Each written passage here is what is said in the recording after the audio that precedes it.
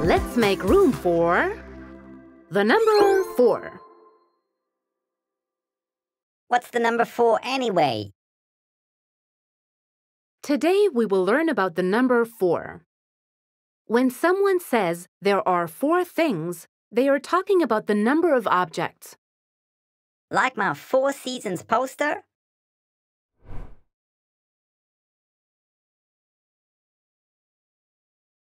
Or the four wheels on my training bike.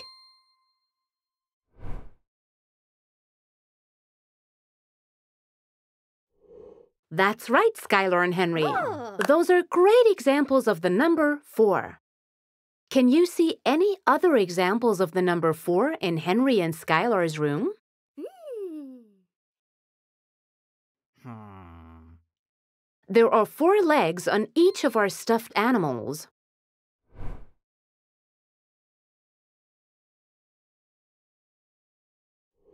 Is there another example of the number four? The number four is on the clock.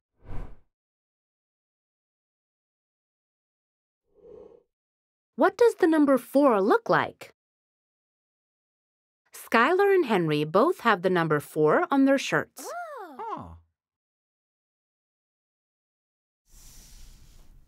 The number four looks a little bit like a field goal. How do you write the number four? To write the number four, we need to start at the very top line, make a small line to the middle, and drag your pencil along the middle line just a little. Then, close it off by drawing a straight line from the top to the bottom. Let's practice drawing the number 4.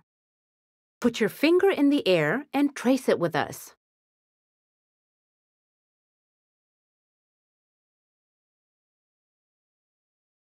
Now that is a great looking 4. Thanks for helping. Can you do four jumping jacks? Let's do jumping jacks together. Ready? Go.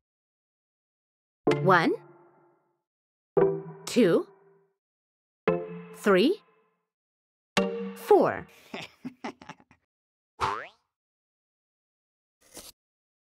Today we learned all about the number four.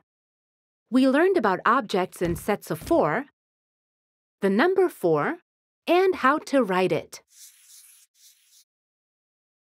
Up for a challenge?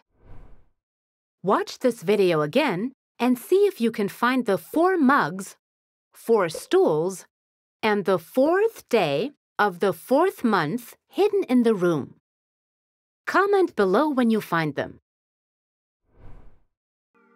If you want to learn more, check out the next number, the number 5.